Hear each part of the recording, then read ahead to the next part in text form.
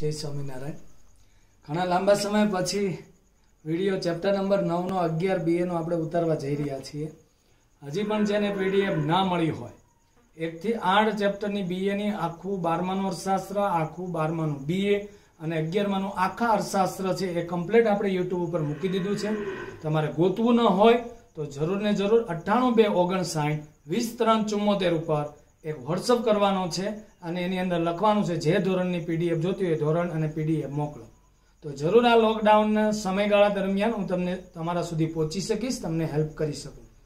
તો આજે આપણે ચેપ્ટર નંબર નવ, અગિયાર બીએ અને નવો પાઠ આપણે ચાલુ કરવા જઈ રહ્યા છીએ. આંતરિક વેપાર ઇન્ટરનલ ટ્રેડ કહીએ છીએ આપણે. ઇન્ટરનલ ટ્રેડ અંદરો અંદર, દેશમાં દેશમાં.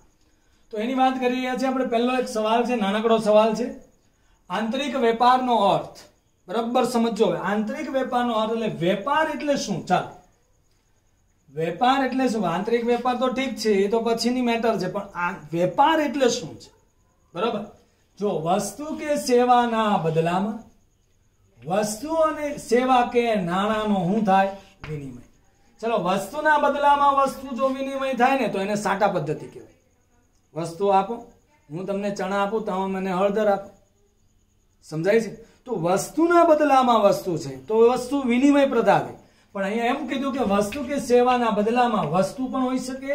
સેવાના બદલામાં સેવા, વસ્તુના બદલામાં સેવા અને એની સામે અત્યારે જે સૌથી મહત્વની વસ્તુ બની છે એ છે નાણું. વસ્તુ કે સેવાના બદલામાં નાણાંનો શું થાય? વિનિમય એટલે કે લેવડ દેવડ થશે. તો એ આજે વેપાર કહી શકાય એને. હવે કોઈ પણ વેપાર છે એનો હેતુ શું છે? વેપાર છે, એનો હેતુ શું છે?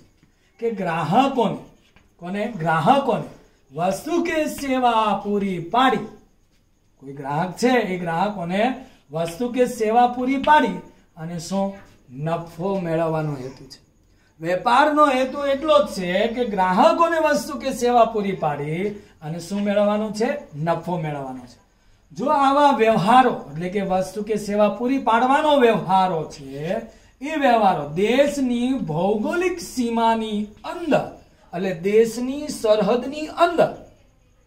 આપણા દેશની સરહદની અંદર જુદા જુદા વિસ્તારો કે પ્રદેશો કે રાજ્યો રાજ્યો વચ્ચે પ્રદેશ પ્રદેશ એક વિસ્તાર બીજા વિસ્તાર વચ્ચે જો આવા વ્યવહારો થતા હોય તો એ શું બની જાય? આંતરિક વેપાર બની જશે. સમજાય છે? એટલે જ્યારે કોઈ એક ભૌગોલિક વિસ્તાર છે, ગુજરાત મહારાષ્ટ્ર જોડાય, કેમ ભાઈ જોડાય છે? એ આગળ આવશે એનું કારણ તો તમને સમજ પડી જશે. ચલો, આંતરિક વેપારનો અર્થ, દેશની ભૌગોલિક સીમાઓની અંદર, દેશની ભૌગોલિક સીમાઓની અંદર થતો શું? વેપાર, એટલે આંતરિક વેપાર. એટલે દેશની જે ભૌગોલિક સીમાઓ છે, એની અંદર જે વેપાર થાય છે, એને શું કહીશું આપણે? આંતરિક વેપાર કહી શકાય. બરાબર? એટલે એક વસ્તુ એ સમજાય છે એવી છે કે દેશની ભૌગોલિક સીમાઓની અંદર થતો વેપાર એટલે આંતરિક વેપાર. ચાલો, આંતરિક વેપારમાં દેશની અંદર ને અંદર જે વેપાર થઈ રહ્યો છે, એ વેપારમાં જે તે દેશનું ચલણ, એટલે ભારતનું, આખા ભારતમાં એક જ રૂપિયો ચલણ હોય. પછી આપણા આખા દેશના તોલમાં વેપારની રીત રસમો એની પદ્ધતિઓ અને કાયદા એટલે કાયદાકીય બાબતો કેવી હોય? સમાન. માનો કે તમને આંતરિક વેપાર અને આંતરરાષ્ટ્રીય વેપાર વચ્ચેનો જ્યારે તફાવત પૂછે, બરાબર? તો તમને આ ખબર હોવી જોઈએ કે એક જ આંતરિક વેપારમાં ચલણ એક જ દેશનું હોય, વિદેશ વેપાર હોય, એમાં દેશ, એક દેશ બીજો દેશ જોડાતો હોવાનું ચલણ અલગ હોય, તોલમાં આપણા દેશના અલગ હોય, એના દેશના અલગ હોય, આપણી વેપારી રીત, રસમો, એની પદ્ધતિઓ અલગ હોય એની અલગ હોય, આપણા દેશમાં આંખમાં આખા દેશમાં સમાન હોય. પણ વિદેશ સાથે સગાય ત્યારે તકલીફ પડે એના કાયદા આપણા કાયદા અલગ હોય છે. વિદેશ વેપાર કરીએ તો તફાવત આવશે, ત્યારે આપણે એને જરૂરથી જોશું. હવે માલની, આંતરિક વેપારમાં માલની હેરફેર કેવી થાય છે? સરળ થાય છે કેમ કે દેશમાં દેશમાં છે. બરાબર? દેશમાં ને દેશમાં છે. આંતરિક હેરફેર સરળ થાય છે. સરળ થતી હોવાથી ઓછો સમય જાય છે. ફટાફટ વસ્તુ મળી જાય છે. જોખમય કેવું હોય, ઓછું હોય, આ બધા તફાવતના મુદ્દા છે એટલે બરોબર સમજો કે આંતરિક વેપારમાં જોખમનું તત્વ ઓછું હોય છે, કેમ? રેલવે ટ્રક દ્વારા હેરફેર થાય છે. જ્યારે ઓલું વિમાનમાં જહાજમાં થાય છે, જહાજ ડૂબી જવાનું. બરાબર છે? મોંઘો છે, આ સરળ અને સસ્તો છે. ખરીદનારા અને વેચનારા એકબીજાના સંપર્કમાં સરળતાપૂર્વક આવી શકે છે, અથવા સરળતાપૂર્વક આવી જાય છે, અથવા રાખી શકાય છે સંપર્કમાં. જ્યારે વિદેશ વેપારમાં બે પક્ષકારો દેશના, અહીંયા બે બે પક્ષકારો દેશના હોય, અને ત્યાં બે બે પક્ષકાર આપણા એક દેશનો અને એક વિદેશનો, એટલે એક દેશનો અને એક વિદેશનો બે પક્ષકાર એવી રીતે બને છે. તો એ પણ તમારો મુદ્દો બની શકે. હવે આંતરિક વેપાર ઉદ્ભવે છે શા માટે? એક તો કુદરતી સંપત્તિની અસમાન વેચણી હોય છે.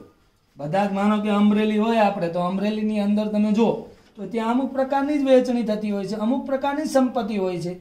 જ્યારે ગુજરાત, મહારાષ્ટ્ર ને બીજા અન્ય રાજ્ય હોય તો ત્યાં અલગ પ્રકારની એટલે અસમાન વેચણી અને વિવિધ પ્રકારના ઉત્પાદન શક્ય નથી. બધું જ આપણા જિલ્લામાં, આપણા જ રાજ્યમાં, ગુજરાતમાં બધું થાય એવું જરૂરી નથી. બરાબર? તો અહીંયા વિવિધ પ્રકારના ઉત્પાદનો છે, એ કરવા એ શક્ય નથી. અને એમ કહેવાય છે કે ઉત્પાદન જુદા જુદા વિસ્તારોમાં એ થયેલા હોવાથી, અથવા પથરાયેલા હોવાથી ગ્રાહક સુધી પહોંચાડી શકાતું નથી. બરાબર? ગ્રાહક સુધી એને પહોંચાડી નથી શકાતું. હવે માનો કે મહારાષ્ટ્રનું ઉત્પાદન થતું હોય, નાસિકની અંદર કાળી શેરડી થાય છે, ત્યાં ગ્રેપ્સ થાય છે, તે ગુજરાત સુધી પહોંચાડવી પડે છે. કેમ કે અહીંયા નથી થતી. કારણ કે અસમાન શું થઈ છે, વેચણી થઈ છે, એવું આપણે કહી શકીએ. તો જરૂર મિત્રો પીડીએફ મેળવવી હોય તો અઠ્ઠાણું બે ઓગણસાઠ, વીસ ત્રણ ચુમ્મોતેર ઉપર તમે વોટ્સઅપ કરો, જેથી કરીને તમારે યુટ્યુબની અંદર ગોતવું ન પડે ને એક માત્ર બ્લુ કલરના અક્ષર પર ટચ કરવાથી જે તે સવાલ તમને મળી શકે.